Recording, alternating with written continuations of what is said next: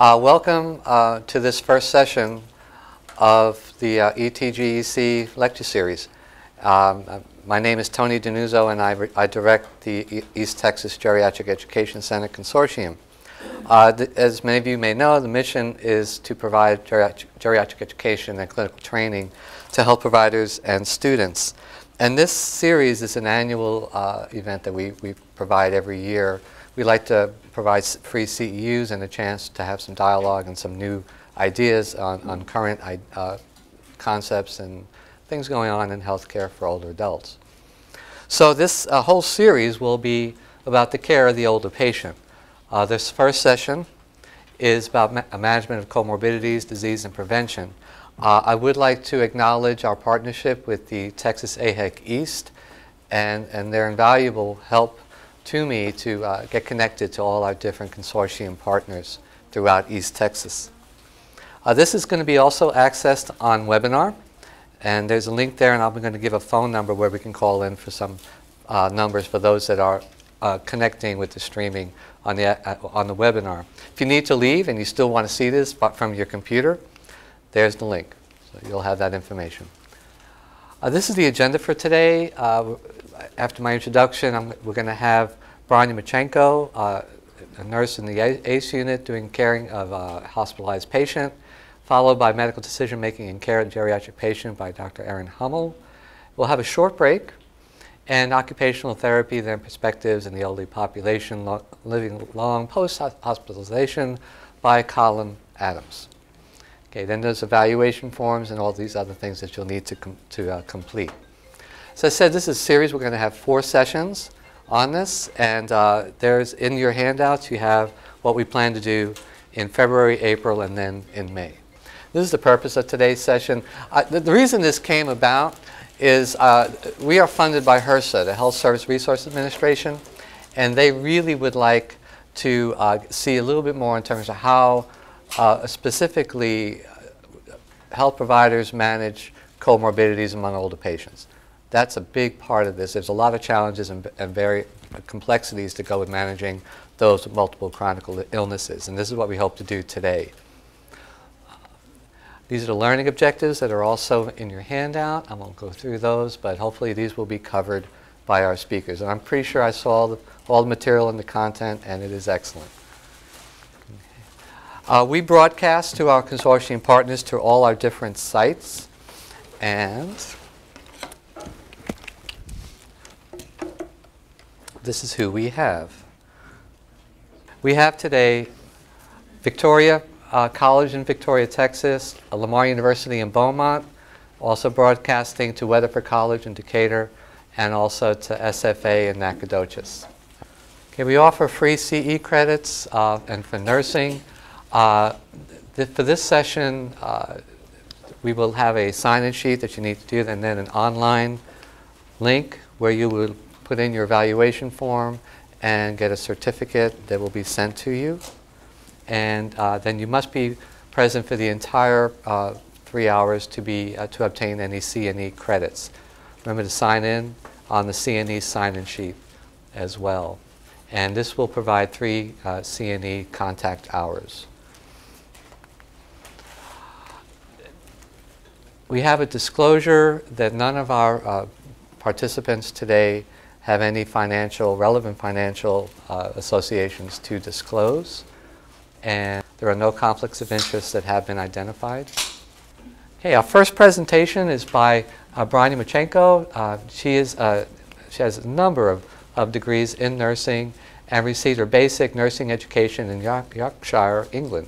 She immigrated to the U.S. and worked as a staff nurse in rural areas of Texas before moving to Galveston, received her BSN and MSN from UTMB, and has work experience including OB-GYN at MD Anderson, 15 years in emergence, emergence nursing, and 15 years of nursing teaching experience at Galveston College.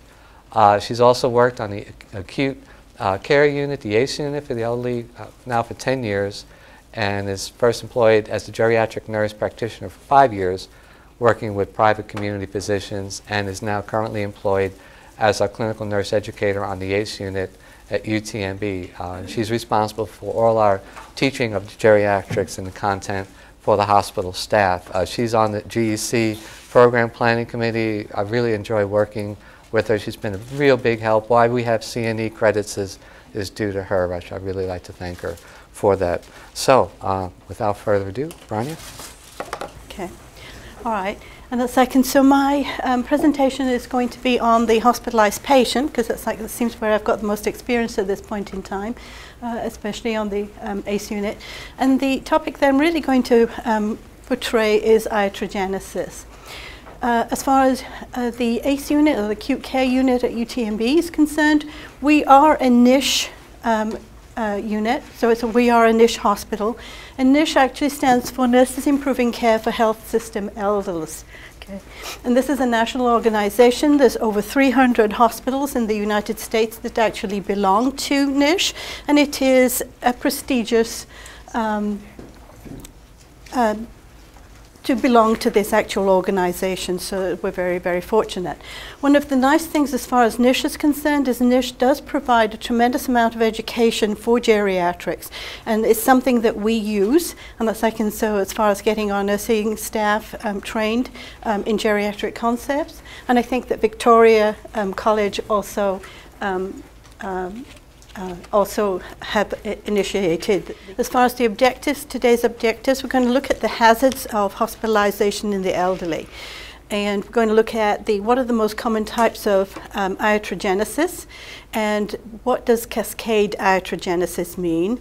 And a second, then we're going to look at what is your role, and a second, um, whether you're a physician or a nurse or a social worker, um, uh, or OTPT in preventing um, iatrogenesis in hospitalized patients. The I, uh, I guess a, a, government report, a federal uh, government report um, on why population aging matters, um, kind of shows that the aging population is growing globally. Um, and it's like in 2006, they had estimated that we had 500 million older adults worldwide. And by the year 2030, the um, number will increase to 1 billion older adults um, throughout the, um, the world. Um, and it's like, and certainly as far as aging population is concerned, it is fastest growing in the um, developing countries. As far as the uh, core consumers are concerned, adults 65 years and older just kind of comprise about 12% or 13% of the population. But when we're looking at healthcare, they are consuming 50% of um, the healthcare market. Uh, and the second, certainly as far as when we're looking as far as the um, hospitals are concerned, whenever we're looking as far as census is concerned, at least 50% of the patients on in the hospital at any one time um, are 65 and older. So it's like it's a huge percentage as far as the market is concerned. Um, they do suffer from multiple complex medical problems, and it's like, and so certainly as far as our geriatric patients, when they come into the hospital, they're not coming in with just one little thing as far as their uh, um, uh, uh their conditions are concerned. It's just an MI or it's like hypertension, but it's like they've got um, a, a, a series of comorbidities that they bring with them. Um, certainly, as far as the research is showing, it's like they do have a high rate of readmissions. Um, certainly, that as far as our elderly patients are much more likely to become deconditioned and lose function. Uh, they certainly suffer a lot more complications and adverse events, uh, and they're more, much more likely to die in the hospital, and their length of stays tend to be um, much longer. And some of the um, the data shows that the older adults average anywhere from 7.8 um, days in the hospital compared to 5.4 days uh, for younger patients. Chronic disease, um, and a second, so at this point in time we are looking at a, an epidemic of chronic disease. The vast majority of um, older adults, at least 80% of them, have at least one chronic condition. They may have dementia, diabetes, hypertension, heart disease, uh, osteoarthritis. Um, okay. Uh, and it's like, in today, the chronic disease is what is the leading cause of death. Whereas, what, 40, 50 years ago, it was an acute infection um, that was usually uh, the uh, cause of death, whereas now it is um, chronic disease. Okay. Um, certainly, anytime that you've got chronic disease, you also have a major risk of depression uh, and disability. Okay. Um, and the um, uh, certainly as far as the more comorbidities that you have, the more you're going to use your healthcare um, services. The elderly patients also have a much higher incidence of um, cognitive impairment. So th the research is showing that like 35% of um, our elderly patients oftentimes have some kind of um, cognitive impairment. Oftentimes it's not recognized. And then 25% of these patients um, also have dementia. Um, those patients that have both cognitive and uh, physical comorbidities actually have a much longer um, length of stay. Um, patients who have dementia and congestive heart failure, um, heart disease, diabetes, COPD, as well as dementia, actually have a length of stay that is three times longer than the patient who just has the uh, um, physical illness. And certainly, as far as the um, uh, the ACE unit is concerned, and as I can certainly, as far as our patients with dementia um, and uh, delirium are concerned, those patients are a heck of a lot more challenging as far as nursing care is concerned, as most of our nurses will attest to. And it's I can so it really does create tremendous challenges on our staff to be able to manage those patients. Okay, the next item we're going to talk about is iatrogenesis. And it's like, and so anybody, any ideas what, what is iatrogenesis? negative effects of being in a hospital. okay. All right. So these are some unattended adverse outcomes. Okay. And it's like it actually comes from the Greek word iatro, uh, meaning healer, and it's like and the genesis is brought on um, by the healer, meaning that and it's like through our treatments we actually promote. Um, uh, things that we didn't intend, but it's like but have adverse outcomes. Okay. Uh, and the literature uh, is showing that about 36 to 58 percent of old adults, older adults, um, suffer from some form of iatrogenic disease during hospitalization. And I know that everybody's heard that, you know, certainly as far as hospitalization is concerned, it is, it is uh, not, not good as far as the elderly is concerned. And certainly there's an awful lot of literature that supports this um, in, in its research. Um, basically, about one third to half of all patients experience some harm um, during their hospital stay. Again, this is it was it's, it's un, unintended uh, adverse outcomes.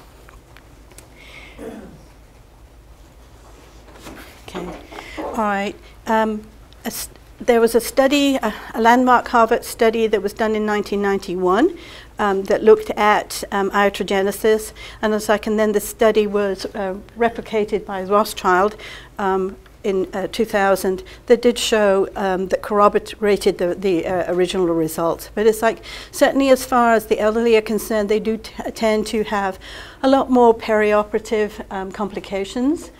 Um, certainly um, there's 10% more falls in the elderly uh, population than there is in the um, uh, regular um, um, patients.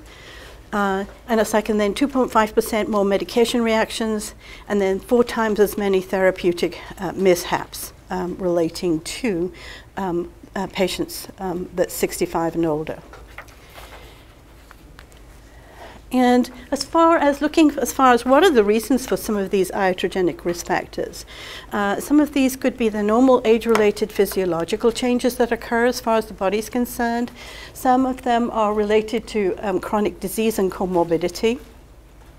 And certainly as far as if I've got um, um, many chronic diseases, like, and so therefore I'm going to be getting a lot more medications, and then the chances of um, uh, developing um, iatrogenesis is much, much greater.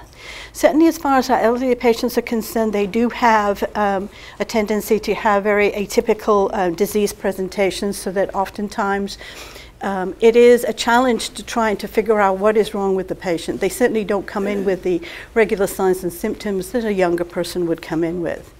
Um, Provider um, beliefs and attitudes may also have an effect as far as iatrogenesis and harm is concerned. Okay, uh, and certainly as far as inadequate training as far as geriatrics is concerned, uh, and uh, as far as health providers. The first category that we're going to look at is just normal um, age, uh, aging changes. Uh, and it's like, and certainly as we um, age, there's the ability to respond to stress is uh, greatly decreased. Um, as far as the kidneys and the liver, cognitive function, there, um, there oftentimes is some decline. Homeostat hom homeostatic um, and compensatory mechanisms oftentimes are impaired. Um, there is an increased infection risk uh, as far as the elderly is concerned, they do have a blunted thirst mechanism, so it's like oftentimes they're not even aware that they're dehydrated. Uh, and certainly as far as their cardiac reserve is concerned, it is reduced. Um, with the reduction as far as cardiac reserve is concerned, much more um, likely to develop iatrogenic congestive heart failure. Uh,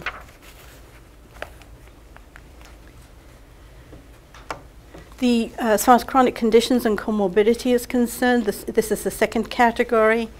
Uh, and it's because of the high prevalence of chronic disease and comorbidities in older adults. Um, so certainly, um, the more um, chronic diseases they have, the more medications they're going to have, and, and more interventions we're going to do, uh, which increases the likelihood of an adverse event. Okay, and then there is a boost as far as um, geriatric syndromes. Okay. Uh, and certainly as far as geriatric syndromes are concerned, I'm going to go ahead and um, um, discuss that uh, in just a few minutes. Okay. All right. Certainly as far as unusual presentations of symptoms, um, oftentimes the symptoms may be very vague or very unusual. It's not unusual to um, misinterpret um, some of the symptoms that the patient has, not just from the um, uh, clinician's perspective, but maybe from the families and patients' perspective. Oftentimes the diagnosis some, is somewhat delayed, and then oftentimes that will result in delay as far as treatment is concerned. Um, just over the Christmas period, we had a 76-year-old um, Hispanic male that was admitted. And a second, he did spoke very little English. Uh, and he came in through, um, well, he'd gone to his uh, PCP, uh, and it's like, and he was becoming very lethargic, short of breath, and very fatigued. Had a history of COPD, hypertension, diabetes. Uh, and the, his condition was so poor that the um, physician sent him on to the emergency room. Um, he was admitted. They found that his cardiac enzymes were elevated, um, that his lactic acid was uh, elevated, he was hypotensive, he had an albumin of 1.6, and he um, was uh, diagnosed as far as malnutrition, uh, pneumonia, and sepsis uh, secondary to pneumonia. Okay, so he spent a couple of days down in the intensive care unit and then came up onto the um, uh, ACE unit.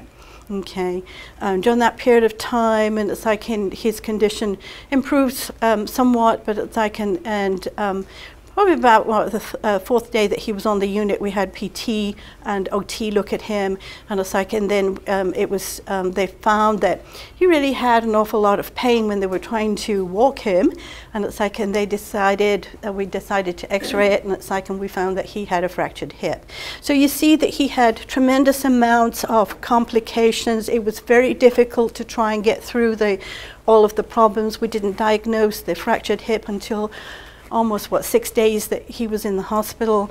Uh, certainly as far as communications um, were concerned, there was an issue as far as the Hispanic um, um, uh, communications were concerned, but certainly as far as his critical a condition when he first came in second. So obviously respirations were the, his uh, um, pneumonia was the biggest priority um, before we finally moved. But you can see that certainly as far as care is concerned, it can be very, very complex, and we may not pick everything up until the, ve the very, very end.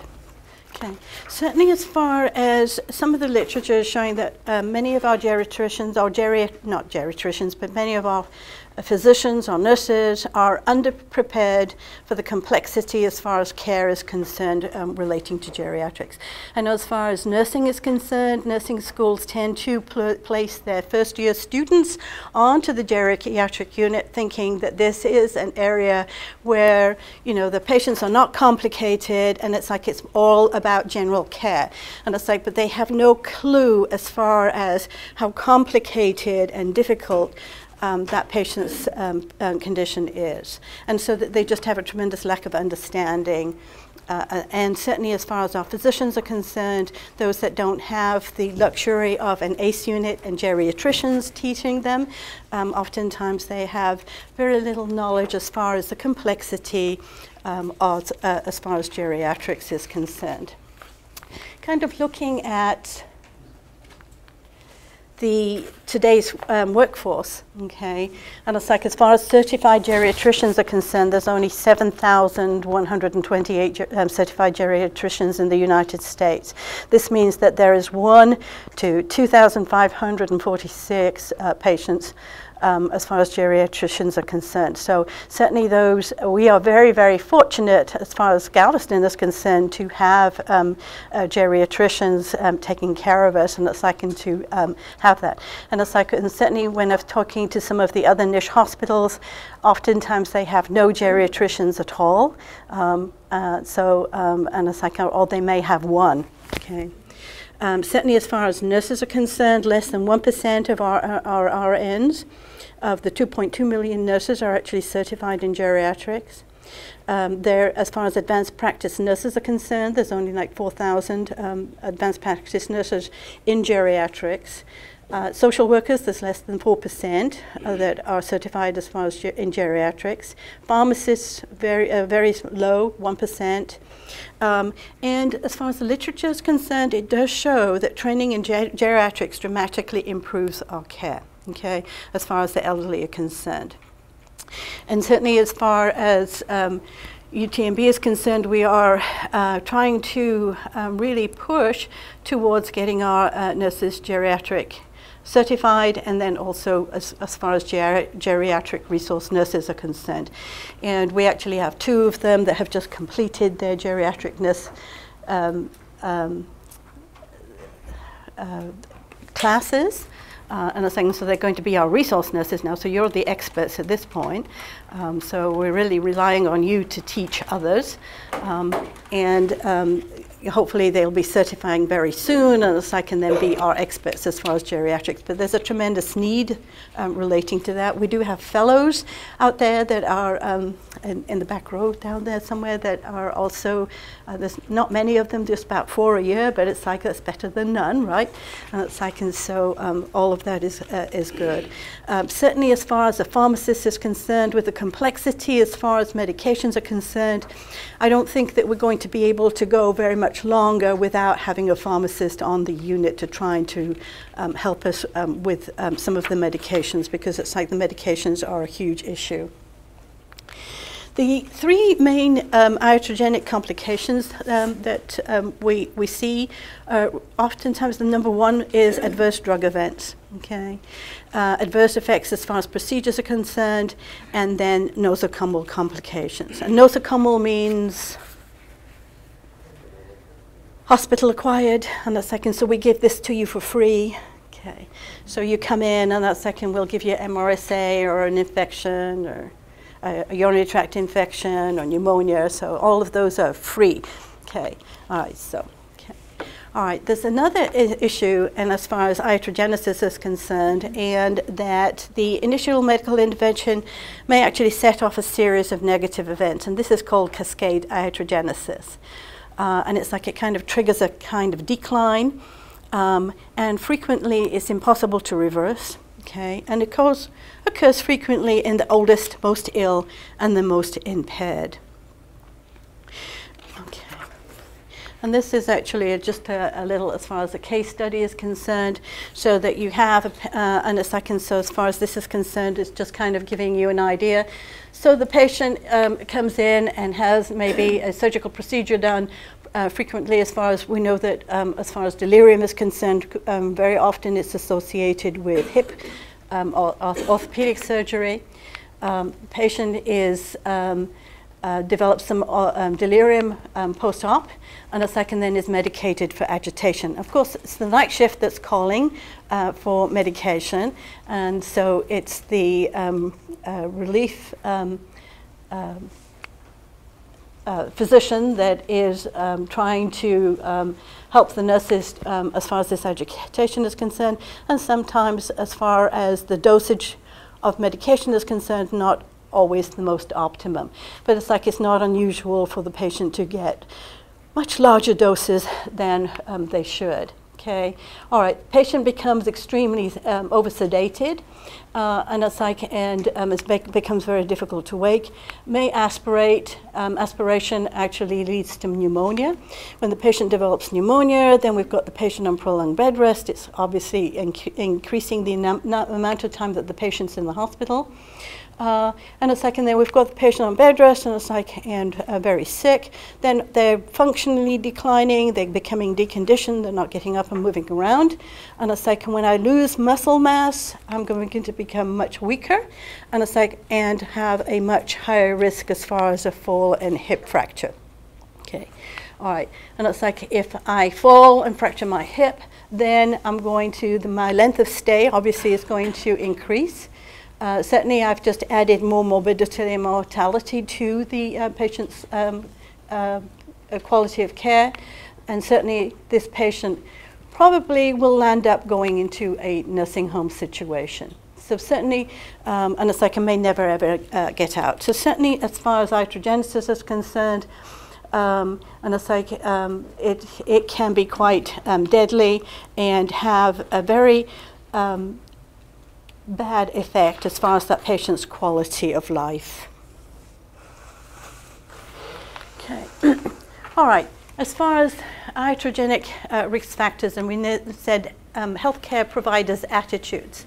Uh, and it's like, how can my attitude um, make a change um, or have an effect as far as iatrogenesis is concerned and about outcomes relating to my patient? And uh, the first um, thing up there that you see is ageism. What, what does ageism mean to you?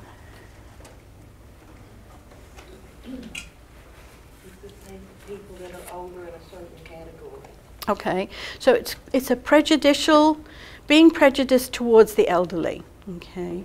Um, or it's like, or having negative effects as far as elderly is concerned.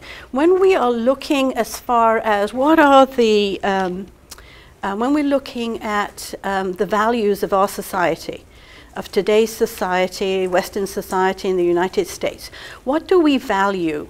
What is valued in our society? Productivity. productivity, money. Okay, all right. And it's like, and then as far as your ads and um, on TV, uh, and it's like, and I'm looking at youth and beauty, and certainly as far as um, uh, and, and money. And so that th- those seem to be the biggest things that draw value towards um, in our society. As far as the, um, you know, we don't, we don't see too many elderly um, ads on TV.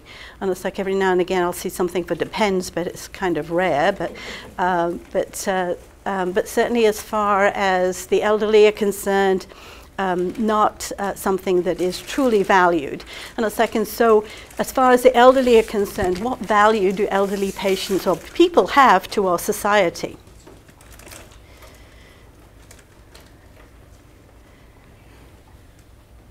What do they bring? I mean, it's like they're, they're obviously they're not out partying at two o'clock in the morning. It's like they're not spending money on clothes and And knowledge and. knowledge and wisdom. They do volunteer, yes.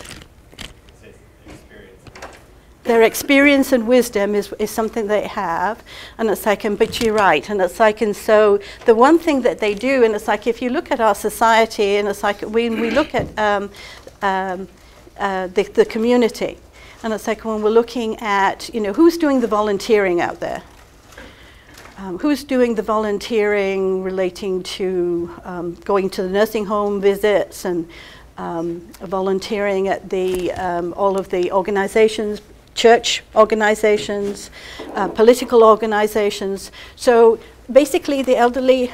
I'm saying the elderly, but it's like 65 and older. It's like, so these, these, you know, we, we categorize elderly, 65 and older.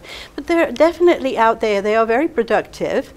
And it's like right now it's winter and it's like we've got snowbirds. Okay, so the snowbirds are down here, and it's like, and they are contributing to the economy of Galveston by spending their money at the restaurants and at the campsites and uh, um, grocery stores.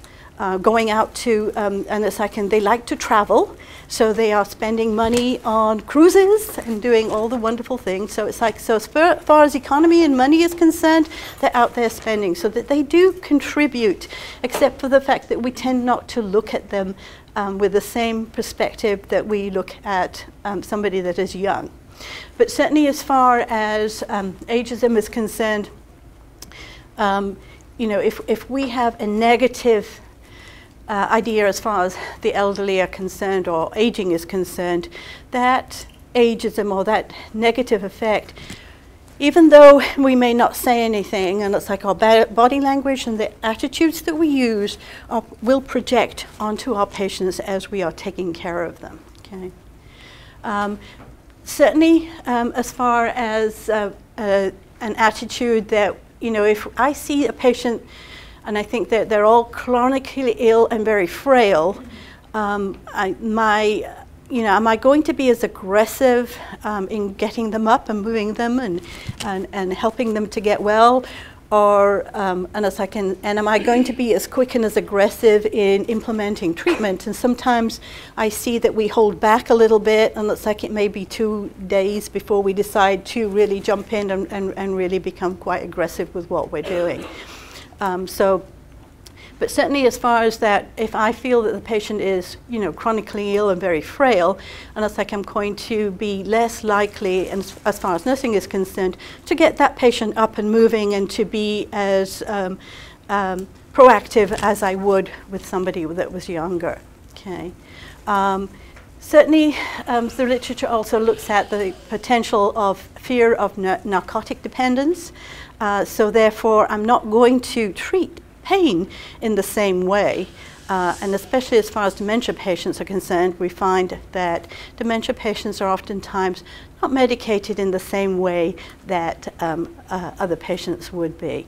Um, but certainly there's always that fear of narcotic dependence, so I'm going to be very, very skeptical as far as what, do, what is it that I'm doing to um, help as far as pain medications are concerned.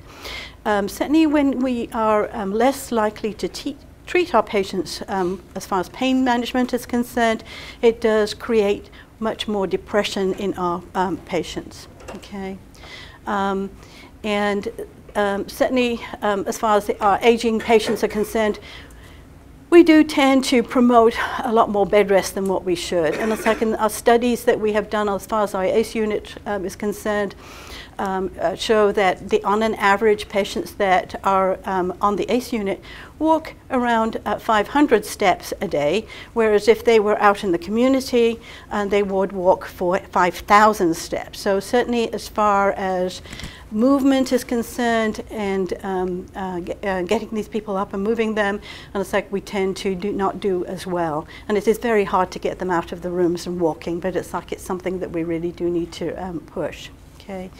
Um, certainly as far as the perpetuance of uh, dependency. And, you know, as far as our elderly patients are concerned, they are a little bit slower. And like, and when you're going in to give medications, and it's like it takes you a longer, much longer period of time. Um, as far as bathing and, and providing care is concerned, uh, certainly as far as physicians are concerned, going in, you're trying to get your history and physical and you get your information, and you know that their responses are much slower and it takes a long time to get the um, history that you're wanting to get, and they're going to diverse and go into, you know, what happened at Christmas, and it's like, and so you have to listen to all of this other stuff, and it's like, I don't have time for all of this.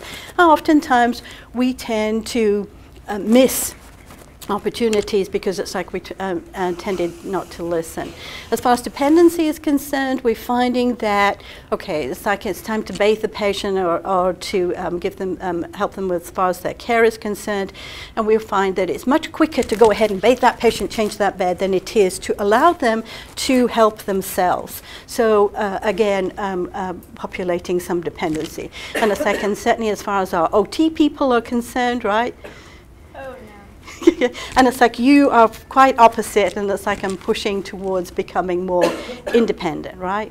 I'm not OT. Oh, I, th- I thought you were OT. Okay, all right, okay. But certainly, as far as OT is concerned, they do push towards uh, making sure that um, our patients try and become more independent and, and it's like can do more for themselves. And um, but it is um, hard uh, as far as the staff is concerned because it's like you want to get through with your work and, and, and, and do a lot more. So sometimes it's easier to do things for them than to allow them to do themselves. Okay, but again, when we're doing that, we're actually stripping them of their uh, identity, of their individuality, and it's like when we're making people more dependent, and it's like we're actually um, creating a, a very negative um, um, atmosphere. Uh, and um, making it more difficult as far as the patient is concerned, and predisposing that patient towards depression. Um, as far as adverse drug effects are concerned, this is the most common type of iatrogenesis. Uh, and this is the noxious, unintended, undesirable medication effects. Okay. Um, and um, it can be related to, um, to the wrong drug. It can be related to drug-drug interactions. Could be to, related to the uh, dosages, and certainly as far as side effects, as far as drugs are concerned too. And certainly, you know, um, when we're looking at our um, uh, patient's medication list, uh, when we're going into um, medications, and it's like, how many um, medications do you think each patient takes on an average when you're going in to do medicines? 12. 12 is, is, is, is a conservative number, so it's like they're at least on 12 medications, and it's not unusual for them to be at least on 20 different medications. And it's like by the time you're trying to figure out, you know, what interacts with what, what causes what, and it's like, and, and you would really do need to be a, um, have a lot of pharmacy training to be able to tr- uh, try and figure some of this out.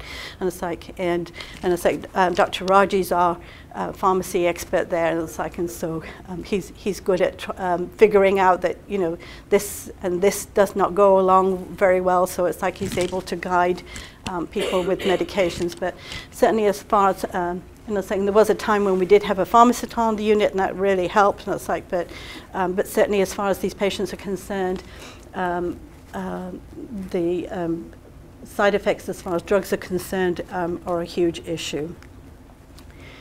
Um, and as I can see, literature is pretty much showing that about 35% of older adults experience some kind of adverse drug effect, okay?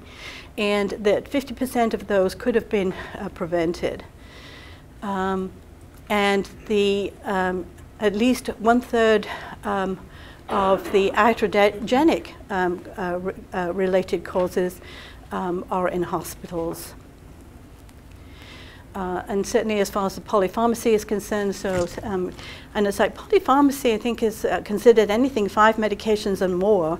Uh, but it's like you know, it would be nice if our patients were on five medications. It's like it would take an awful lot. It'd be a lot quicker to give those medications um, than it is when you're on 12 and 20 medications. Uh, certainly, as far as procedures are concerned, um, there are, and a second, certainly as far as you know, you've got more comorbidities as far as your patient is concerned. Um, uh, then the uh, chances are that you're going to be doing a lot more medical interventions. And uh, certainly, as far as um, procedures are concerned, um, these are, and it's like an X-ray um, uh, procedures and um, cardiac caths, uh, these types of things. It does tend to um, prolong the patient's hospital stay, uh, especially if they um, have an adverse um, effect um, relating to the procedure. Uh, and it can result as far as disabilities is concerned.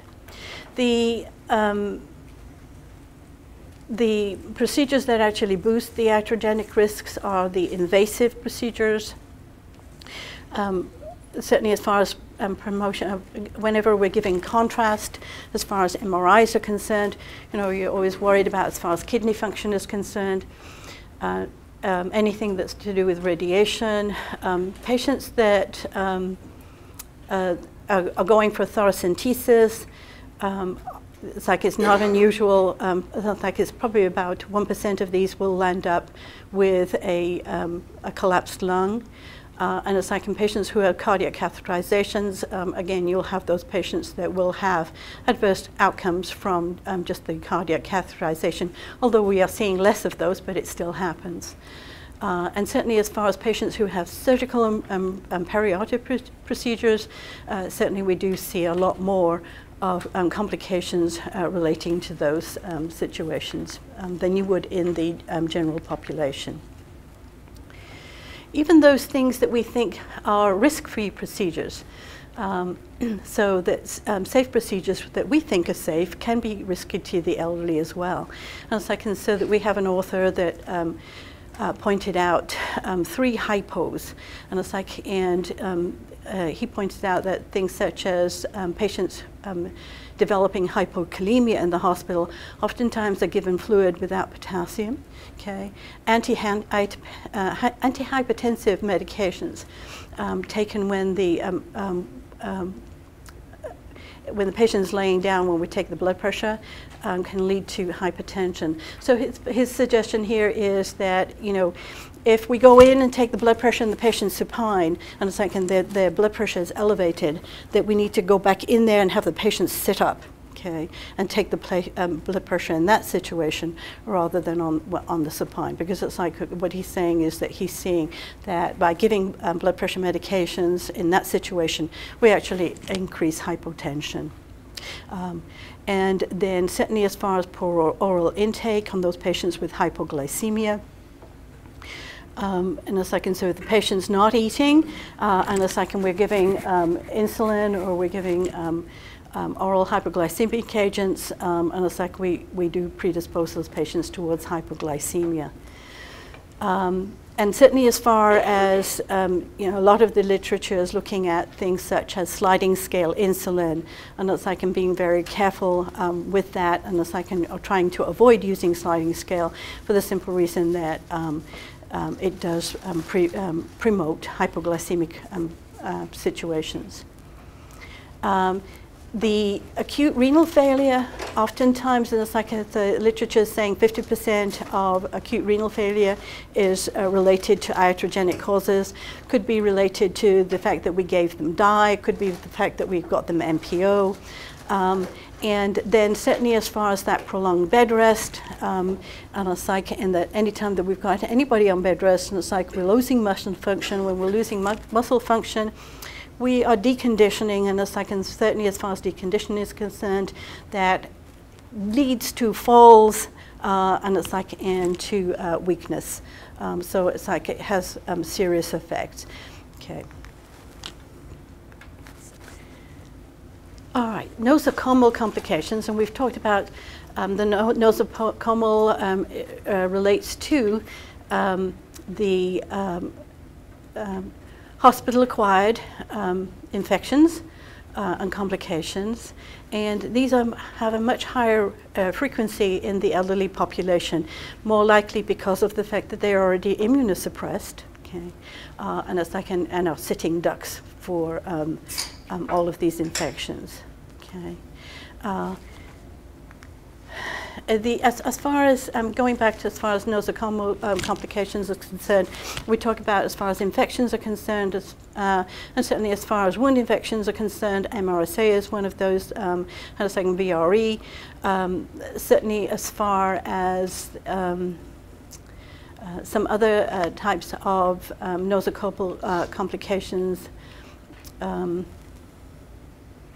I'm trying to think um, as far as it's not just uh, medications, um, but um, other things. What, what other things can develop um, as far from nosocomial? And a second, and we know that as far as Foley catheters are concerned, right? Um, there, there is a much higher incidence of, of uh, urinary tract infections.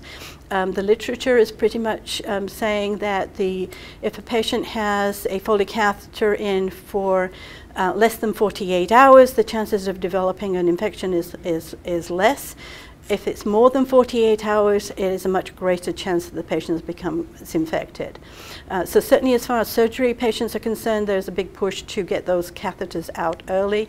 Uh, certainly as far as the ACE unit um, is concerned, the nurses know that, you know, to report, you know, that the patient has a Foley. Sometimes um, physicians, as they're doing the rounds, completely miss it, didn't realize that they had one in, and it may have been placed in um, in the emergency room uh, and it's like, and they've gone through the ICU period, and it's like maybe 10 days um, um, before that Foley comes out. And it's like, and so certainly as far as 10 days is concerned, uh, you're looking at 100% um, chance as far as um, infection is concerned. Um, other areas, as far as central lines are concerned, um, any invasive lines that we place in our patients are um, also uh, high risk as far as infections are concerned. IV sites, um, and again, uh, because of the fact that your patient's immune system is decreased, and it's like they just have a much higher um, incidence as far as infections are concerned. I'm going to quickly just kind of mention geriatric syndromes because it's like the literature is also saying that geriatric syndromes are iatrogenic. And again, um, these are things that, that we, um, we can cause. So as far as delirium is concerned, this is the, um, an unusual, um, altered um, and um, mental status, uh, agitation uh, that may have developed uh, suddenly uh, in someone. And a second, certainly as far as delirium is concerned, we do see tend to see that, especially with surgery patients. Okay, and then the dementia patient is much more likely also to develop um, delirium. Okay, uh, malnutrition. Why would patients develop malnutrition in a hospital? One reason they might be NPO for days. Okay, all right. It doesn't, oh no, the food doesn't taste good, that's true. And a second, so UTMB is not known for its gourmet cuisine, so um, and a second, and um, but certainly another issue is can they chew it? Okay, do I have the teeth to chew this what looks like a piece of leather? Because uh, it's like we're trying to be, um, and a second, so sometimes the meat is not uh, exactly appetizing. So, um, and sometimes, you know, a tray is, and a second, you know, we've had incidents in which um, the nurses are busy. The um, the people that are delivering trays will place the tray out of reach of where the patient can reach it. Okay, and it's like nobody's had the time to be able to go into the patient's room um, to help with the with the um, nutrition, and it's like um, because you know other things were happening as far as the unit was concerned, and then dietary comes by, picks up the tray and takes off, and patient didn't get anything to eat. Okay.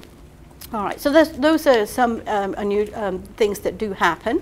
Uh, we've seen these things, and it's like, and certainly as far as um, um malnutrition is concerned, and it's like in that NPO status, and it's like, and so, you know, the minute that the patient comes into the hospital, we're NPOing them, so that they came in, let's say, two o'clock in the afternoon on. Um, what day is today? Today's Wednesday. They came in on Monday at 2 o'clock in the afternoon. They were in the emergency room for a couple of hours, finally admitted. And then the night float says, well, let's go ahead and just keep them NPO, so because we'll, um, uh, they may need a cardiac cath or something in the morning. And it's like, and then the team doesn't see them till maybe 1 or 2 o'clock in the afternoon. And it's like, and they're not sure that they can get them in, but we'll keep them NPO anyway. And we go all the way to 5, 6 o'clock. They forgot. Uh, and like, the patient's still NPO and it's like, and then the night float comes on, oh, well, we'll do it tomorrow, so just keep them NPO. And it's like, and so we might go two, three days, and it's like, um, uh, before um, we uh, get some nutrition. Now, the nursing staff knows that, you know, nutrition is very important as far as elderly patients are concerned, uh, and it's like, and so that we do need to get them um, uh, fed.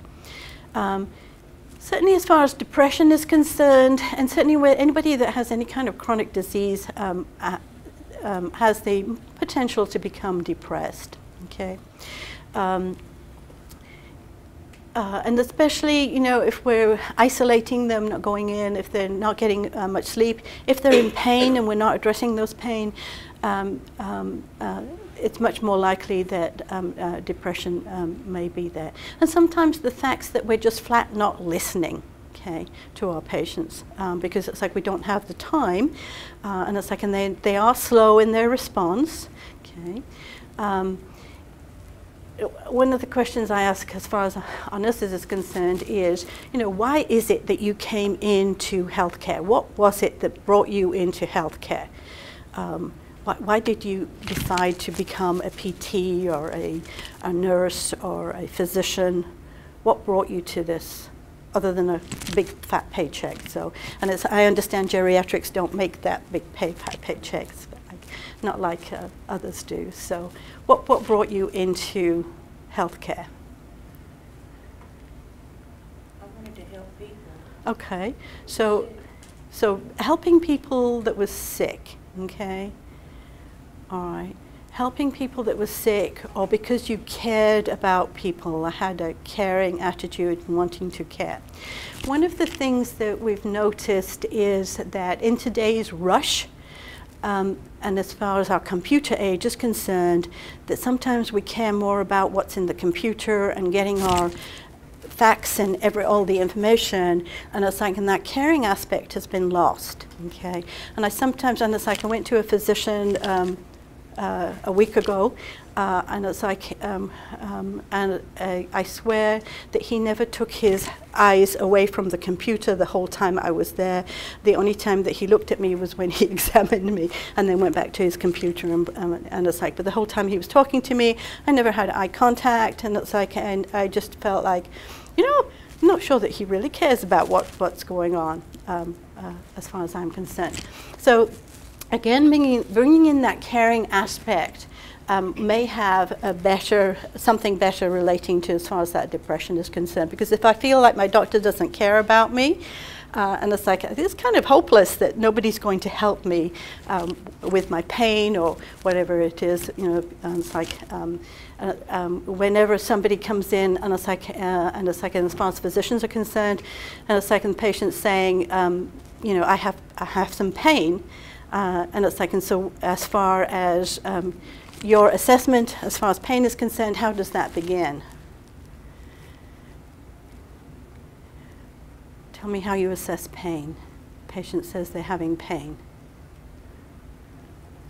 Location pain, type of pain, Okay. intensity. Intensity. When was it better, when was it worse? Right. Okay.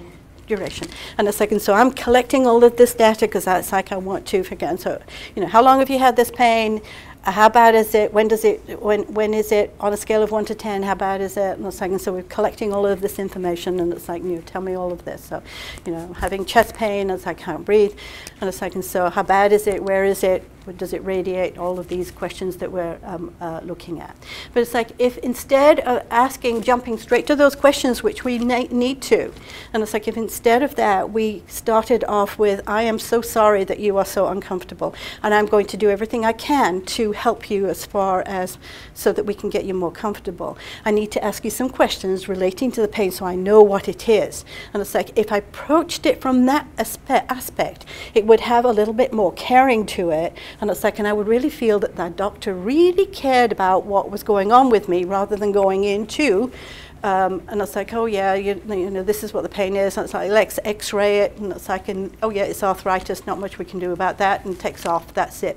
So it doesn't give me a very caring um, perspective. So um, being a lot more caring, the way that we. we, and it's like it doesn't take very long. It just takes maybe about 30 more seconds uh, to um, add that caring aspect makes a big difference um, as far as our patients are concerned. Being an active listener. An active listener and a second. So all of those things will help as far as depression is concerned. Sleep disorders, and it's like, and we know that as far as sleep disorders are concerned, there are things out there that, um, you know, we're waking the patient up um, throughout the night. Patients may have sleep apnea, um, uh, certainly as far as being in a, a strange environment, lots of noises, um, all of these um, promote um, sleep disorders. A patient doesn't get the sleep that they need, much more grouchy, they're not going to recover as well. Um, so um, certainly as far as sleep is concerned, very important that we um, uh, look as far as sleep is concerned. Certainly as functional decline is concerned, I think that we've already talked about this. Incontinence, certainly when I first came on to the ACE unit, one of the things that I found was that nurses were saying, um, well, it's like, let's put our patients there, and then tidy them all up and put them into nice diapers. Okay, so everybody that comes in got, got into a diaper. And it's like, and certainly as far as, you know, patients were saying, and you really need to go to the bathroom. And, uh, you know, we, we'd hear things such as, well, you've got a diaper on, so just go ahead and use that. But what it does is it really teaches our patient that it's like it's not important to be continent. And it's like and all of those things that we learned at two, as far as how to manage your bladder and control your bladder, is lost. Other things that we might see is Anytime that we have um, Foley, Foley catheters in for any period of time, sometimes the patients lose their contractility as far as their bladder is concerned. And as I can so um, following removal of the um, Foleys, oftentimes they may be incontinent. Okay. Uh, and certainly as far as falls and injuries are concerned, Medications probably are the um, uh, biggest issues um, as far as falls are concerned, but it's like, and that's uh, something that, that, we do need to consider. As far as um, hospital-acquired infections, urinary tract infections, uh, bloodstream infections, pneumonia, surgical site infections, all of those are um, um, uh, hospital acquired and it's like um, certainly as far as bloodstream infections is concerned it's the eighth leading cause of death uh, and it's like in 50% of bloodstream infections are associated with invasive devices. So, you know, getting those um, central lines out, getting the IVs out, getting catheters out, um, as soon as possible, um, it really becomes very important. Okay, uh, certainly as far as pneumonia is concerned, second most common hospital-acquired infection, very much preventable. Um, certainly as far as seen a lot more in the ICUs, as far as ventilators are concerned, it is changing uh, at this point in time because the nursing staff is now doing a lot more oral care uh, relating to those patients, so we are seeing a decrease as far as ventilator-associated uh, pneumonia. Um, I'm not going to go into those, but certainly as far as the old way of caring, um, using those adult diapers and urine catheters uh, for incontinence is changing, and it's like it's taken its time to change, but it's like we are becoming a lot more um, um, proactive against um, placing diapers on everybody, and like, and certainly as far as placing a catheter in everybody, as far as incontinence was concerned. Um, and it's like, and certainly um, um, doing a lot more um, relating to um, uh, straight caths rather than um, promoting a uh, continuous full, urinary catheters.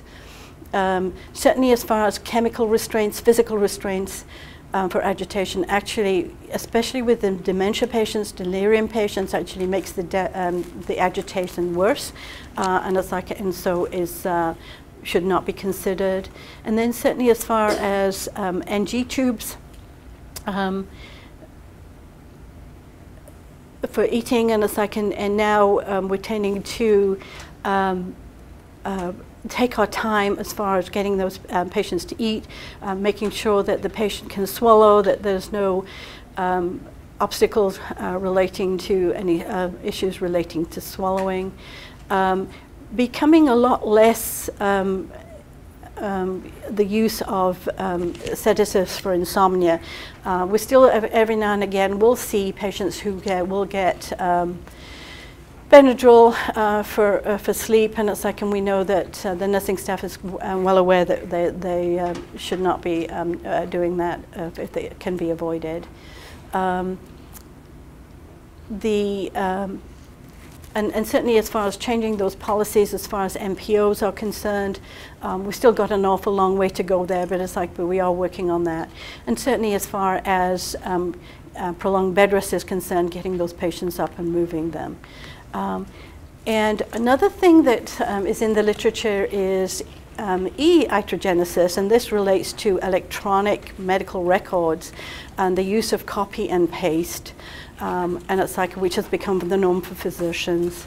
Uh, the literature is showing that like 82% of residents actually document um, uh, information that, is copied into the progress notes. And they're using smart phrases rather than what the um, patient's words are, which may change the actual um, um, uh, note itself. Okay, and it's like, uh, um, but um, you know, I'm not saying uh, stop copying and pasting, but it's like if you're going to copy and paste, make sure that the information that you're um, putting down is accurate. Okay. Um, certainly, as far as preventing iatrogenesis is concerned, we want to prevent harm. Um, um, and the second, certainly as far as um, um, being proactive in uh, preventing harm, being holistic uh, in that we're looking at the whole patient, okay, addressing all of the needs, um, collaborati- collaborating with all of the interdisciplinary team members, okay, and being much more advocates as far as patients are concerned. So just as far as the goals, as far as inpatient geriatric care is concerned, is to reduce illness and death, uh, reduce iatrogenesis um, related length of stay, um, kind of um, lower the readmission rates as far as the patients are concerned, uh, and it's like, and um, we want to definitely extend the time between discharge and readmission. So it's like that does mean um, that we have to be a lot more careful as far as medications are concerned. Um, that as far as transfer to another um, facility, that um, the um, information is relayed um, accurately, uh, and a second that patients are have good teaching. Okay. Uh, and certainly as far as we do want um, families and patients to be a lot more satisfied. Satisfaction is, patient satisfaction is a major issue right now because it's like Medicare is saying if your patient's not satisfied, we're not going to pay you as much, okay? Um, and then making sure that we do help our patients pr- um, properly for discharge, okay? I'm not going to go into all of this, and it's like um, I just wanted to very quickly um, go into as far as what can you do um, as far as helping patients prevent delirium? Anything that you can think of that would prevent delirium as far as your patients are concerned, something that you could do. Put their glasses and hearing aids on, if they have them. Making sure that your patients can see and hear, okay, it's very good. And, and it's like as far as communications are concerned, extremely important, okay? Hydration is extremely important as far as our patients are concerned because patients do become dehydrated, okay? What else can we do to, as far as prevention of de- um, delirium? Spend more time in their rooms.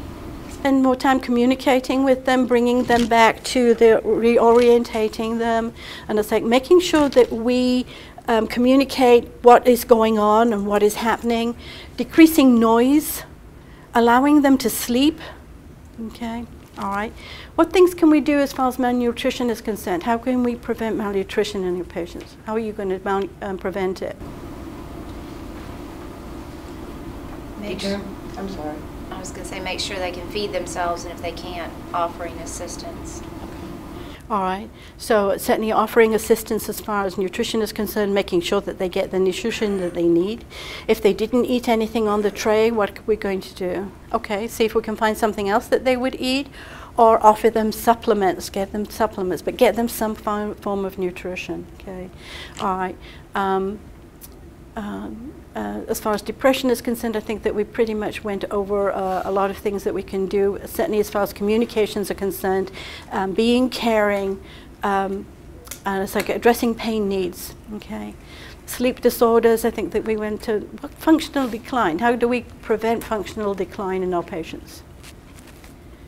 Assist them with the things that they can do so that they don't. Get them up and moving. Get them up and move them. And it's like and that's probably the most important thing that we can do uh, as far as our elderly patients are concerned. Don't keep them in bed. The bed is not the friend. Get them out of the beds. Get them moving. Get them out in the hall. Tell them that they need to walk around the unit three times. Okay. All right. Not always is it possible. And it's like, and some of our patients are very, very sick, so they can't. But um, for those that we can um, do that, and certainly as far as incontinence is concerned, anything that we can do to promote continence. Schedule voiding. scheduled voiding, toileting rounds, and it's like get them to the bathroom. We know as far as our dementia patients, we can decrease falls by taking them to the bathroom every two hours. And it's like not only does it, uh, but it also promotes function and movement. So it's like, uh, and it's like, and um, um, bringing that bladder training back into um, um, uh, into use, okay? And then as far as falls and injuries, how do we prevent those? Make sure that their pathway's clear. Okay, now we remove any clutter that is in the room. Get the physical therapist to evaluate to, for appropriate um, assistive device. Okay, so do that early, and it's like, and so have our physical therapist come out, and it's like, and so that if we see that our patient has, has declined functionally, get the physical therapy in their area so that we can get them uh, moving, and it's like, and then they can make the recommendations relating to exercises for these patients. Okay, um, uh, and it's like, and certainly as far as um, we now have hourly rounding. Uh, so making sure that the doors are open, that we can see our patients, making sure that the patient has their stuff where they can reach it. So it's like the call bell isn't placed on the other side of the room or that their tray isn't across the other side of the room where they, they can't reach it. So it's like making sure that everything that they need is within their reach. So all of these little things um, help. But certainly as far as mobility is concerned, these are things that will help as far as falls and injuries are concerned. So um, these are things that you can use and utilize um, uh, and as, um, as far as um, iatrogenic um, uh, things as far as the hospital is concerned. I do have a little handout relating to medications, but as I can, and certainly as far as each of these topics is a whole lecture um, in its own. But as I can, so just kind of wanted to breach these, and as I can to uh, at least um, uh, um, put just a little information into um, to um, help you as far as um, decreasing some of the um, geriatric syndromes and iatrogenesis uh, that patients suffer so that um, our patients are much safer as far as their hospital stay is concerned. Okay. And I'm not going to do the cost, um, uh, case study at this point in time, and it's like we will just go ahead because I think I'm out of time at this point. Is that right? Time for a couple questions. Okay, good. Yes, sir. I have two comments. The first one, when I admitted a patient to the hospital, I figured out whether they should have OT or PT and, and right to order on day one. The second thing, there was a study done recently in ICU, and I don't know whether it was on ventilator patients or non-ventilator patients. They did a muscle biopsy on day one and day seven, and there was marked necrosis. I even have the pictures of the uh, color pictures of the muscle necrosis. That was really disturbing, that in seven days, really damage your muscles badly, and, and some, of- I, I guess, that meant uh, permanent loss. Yes, and it's very difficult to recover. And it's like, and, and uh, the literature also says that for every day in bed takes two days of physical therapy to actually bring back that uh, function that the patient lost. So, um, so, so certainly as far as functional loss is concerned, there's a lot of functional loss that takes place by staying in bed. So don't stay in bed um, or don't keep your patients in bed. Okay. All right. Any other questions? Any from the sites? Any questions from the sites? I do have a question for you.